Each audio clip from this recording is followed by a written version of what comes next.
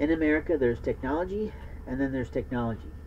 There's old fashioned technology that's based on mechanics and electronics, and then there's new fashioned technology that's based on internet, satellites, and telecommunications. And my guess is there's other technologies around that, but I'm not a technologist.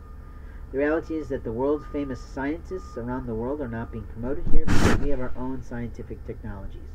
The reality is that medicine, in some cases, is considered new technologies. Biohacking is something that new technologies allow, and there are products, all natural products, that are hacking the body, improving its medications, not at all, but improving how it ages. And that's something we have to be concerned with as American citizens. How is your body going to age? Are you treating your body as the temple of the Lord today? In other words, your soul is housed within your body. Are you showing yourself? Are you teaching yourself? Are your family and friends helping you to develop the body that you need in order to be successful, remain healthy, hearty, and happy in America today?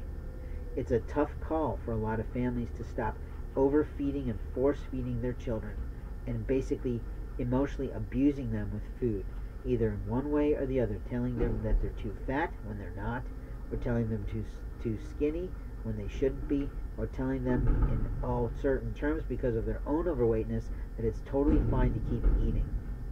People often feed their emotions with food. We have to work on teaching parents how to be better parents today.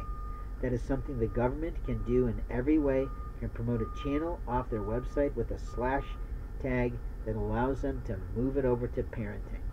And there ought to be out there some of the best minds in America on parenting, providing what is and isn't age appropriate behavior on the stupidest aspects of parenting.